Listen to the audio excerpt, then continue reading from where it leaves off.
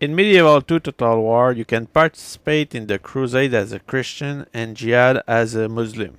Those two options are not available for the Orthodox faction though. There are differences between crusade and jihad. The crusade aims at expanding Christianity on new ground while jihad aims at conquering back lost land.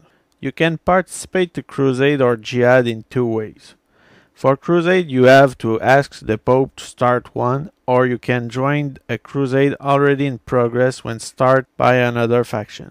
To start a crusade, you will need the right diplomatic context because you have to get the blessing of the Pope. So maintaining good relation with him in the previous turns is crucial. One advantage of starting a crusade or jihad over participating in one is the ability to choose the targeted city. The jihad works similarly, but in the case of Muslim, it must be started by an imam following the loss of Muslim territory. Since imams are under your command, it's quite easy to start one compared to the Christian faction and the diplomatic requirement they face. It's important to note that to join a crusade or a jihad, you will need a general with an army of 8 units. The crusade and jihad have a few advantages. The armies participating move twice as fast than normally. The unit participating costs nothing to maintain and many units are only available as mercenary in the crusade and jihad. When a crusade or jihad achieves its objective, the generals participating win a lot of trade and gain commanding experience. For a Christian faction, the relation with the Pope will improve in the case of a victory.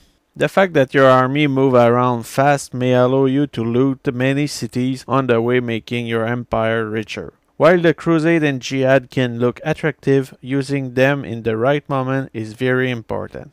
You need to know how to gain from them since they offer interesting opportunities. Before joining a crusade or a jihad, you need to consider the following aspect. Make sure that the objective isn't too far from the territory of your faction. Conquering a city far away brings with it many problems.